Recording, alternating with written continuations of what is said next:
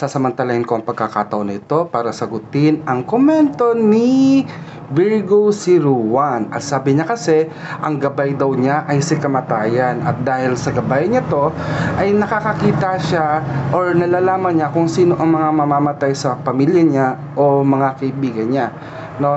Pero gusto kong linawin sa lahat, sino ba si kamatayan at ano ba si kamatayan sa atin bilang mga tao? Magtipon-tipon at magdiwang Tumugtog ng kagalakan ang lahat Papuri at parangal sa diwatang nasa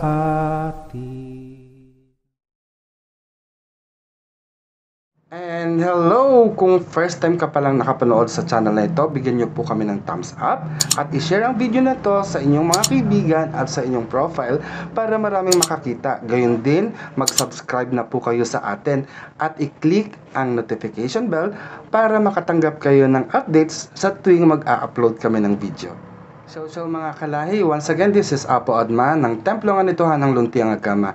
Sasamantalahin ko ang pagkakataon na ito para sagutin ang komento ni Virgo 01. At sabi niya kasi, ang gabay daw niya ay si kamatayan. At dahil sa gabay niya to, ay nakakakita siya or nalalaman niya kung sino ang mga mamamatay sa pamilya niya o mga kaibigan niya. No?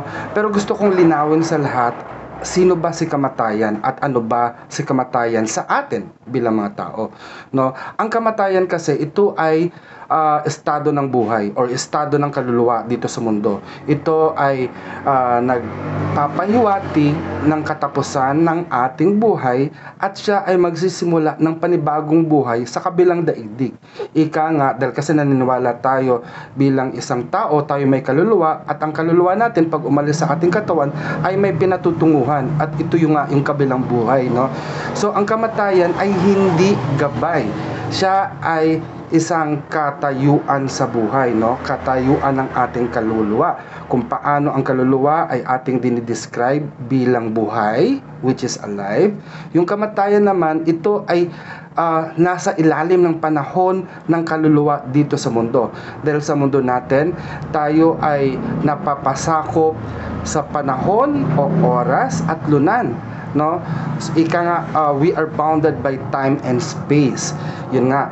Yung yung time and space na yon yun yung nagbibigay sa atin ng distinction or yung pacing sa ating buhay kung tayo ay bata matanda na at kamatayan. At yung kamatayan din no sa loob ng buhay na ito ay pinapa uh, pinakikitaan tayo ng uh, kalagayan, 'di ba? Yung kalagayan ng buhay. Kung tayo ba ay maginhawa o kaya may karamdaman. At yung karamdaman, pag ito'y lumala, doon tayo mahantong sa kamatayan. So, malinaw sa atin na ang kamatayan ay estado ng ating kaluluwa dito sa mundo. Paano naman natin masasabi yung mga uh, anino na nakikita natin pag kinukuha na yung kaluluwa. ba si kamatayan 'yon? Hindi po sundo ang tawag doon. So yung mga sundo na 'yon, ito yung uh, sumusundo sa kaluluwa ng tao para ihatid siya sa kabilang buhay. So technically nga ba si kamatayan to? Hindi po dahil kasi ang sundo natin kada, kadalasan or karaniwang nagiging sundo natin ay yung mga mahal natin sa buhay na namatay na o yung unang namatay. Either nanay, tatay o kapatid, kamag-anak, tiyuhin, no? O mahal sa buhay o kaibigan na namatay na na sinusundo tayo patungo sa kabilang buhay. Ang gabay naman, ito yung tinatawag na guide, spirit guide, no? So, ang gabay natin din ay yung mga espiritu o kaluluwa ng ating mga mahal sa buhay na namatay na. So, they are the one that guides us.